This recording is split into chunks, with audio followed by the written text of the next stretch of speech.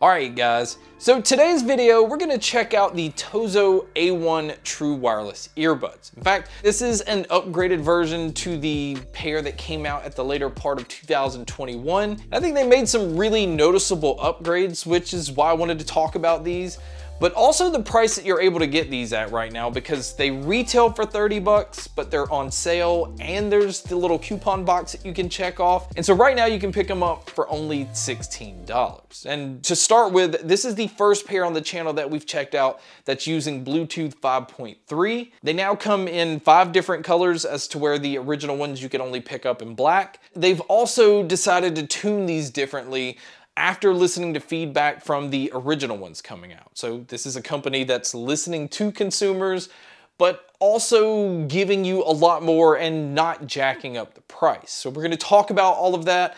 We're gonna talk about what all comes inside the box and the features and see why I think these are an absolute steal for $16. So to start with, this is one of the smallest cases that I've seen, but it's also one of the smallest pair of earbuds that I've seen. I mean, they just fit in my ear without sticking out. They're actually designed in a way to go further into your ear canal and not have a really big ear tip just blocking your whole ear canal. I mean, even the ear tip design is flat. It's made to go further in and just not stick out as much. But going back to these having Bluetooth 5.3, the one thing that I've noticed with this is I never had any kind of dropout issues, I never had connection issues, and it really is one of the most stable connections I've had being able to get a long way from my device. I mean, I was just able to walk throughout my house for the most part and not worry about the signal dropping out. And really you could get about 40 feet and not notice a difference in the connection at all. So that is a huge plus. There was no lag while testing these with movies or videos,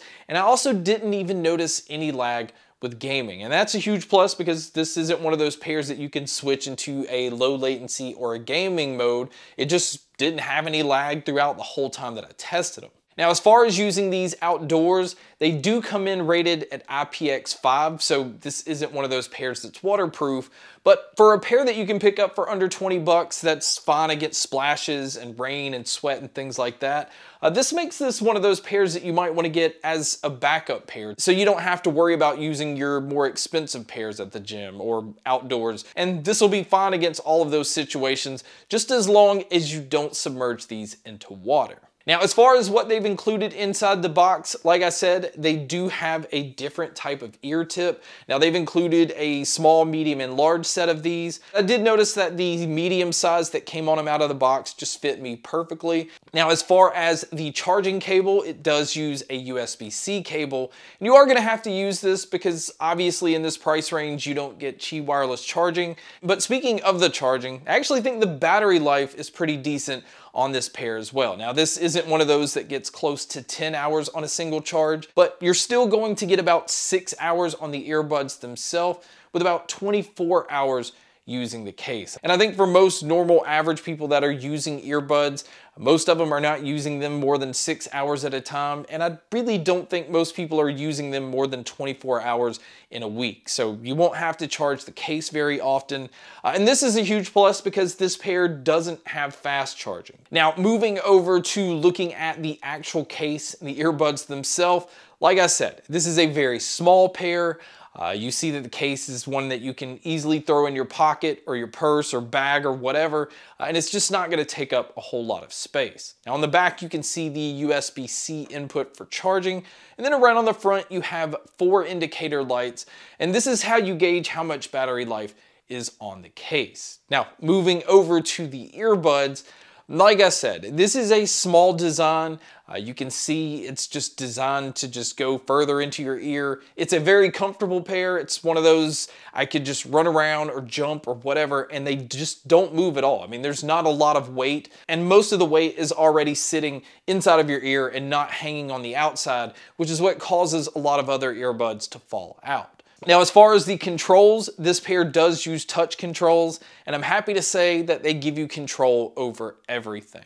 So you have your play, your pause, your ability to skip your tracks forward, go backwards, you have volume control, and this is just, again, another company that proves you can have control over everything and you don't have to sacrifice anything. Now, for you guys that do like to use your earbuds for phone calls, I think they did a pretty decent job here. Now, this obviously isn't one of the best microphones that I've heard, but I think in most situations, and I think people on the other end of the line, uh, you're not really gonna have any complaints. But you guys can be a judge by listening to a test here. So here is the mic test using the Tozo A1s. And again, I think it does a very good job of picking up my voice. Uh, obviously, there is some digital noise and it does have a slight bit of warmth to it, but this is what it would sound like if you were to take a call. And so now here is the mic test with the crowd noise being played, which you can hear here. So this is what it would sound like if you were to take a call in public. So now let's talk about the sound because the sound on these I was very impressed with. Not only because it gets really loud, which is impressive for an inexpensive pair, but they also upgraded these from the originals because the originals didn't really have any bass at all. And they decided to bump this up, but they still kept this very tight. I mean, this is a fast bass where it hits and it quickly moves on to the next hit. It's not one of those that's giving you that subwoofer type feel. Uh, so one thing I will say is if you're a bass head, I don't think you will be happy with these. Um, they definitely lack as far as giving you that thick punch, but the plus to that is they don't get congested. They don't sound muddy. This is not one of those warmer sounding earbuds because the mids and the treble are definitely the star of the show. I mean, it is a brighter sounding earbud. The mids sound some of the best that I've heard in any pair of earbuds. I mean, vocalists always sounded up front. You can hear different characteristics in vocalists. You can hear all the changes in the vocals. And it just made it really nice to go through and listen to a lot of things that I've already been used to hearing. Because at least in true wireless earbuds, mids are usually an afterthought. It's usually the bass or the treble, uh, and the mids are usually just left alone. So it's nice to see a company bump this up and push this a little bit more forward. And the same thing kind of goes with the treble. The treble is definitely bumped up in this pair.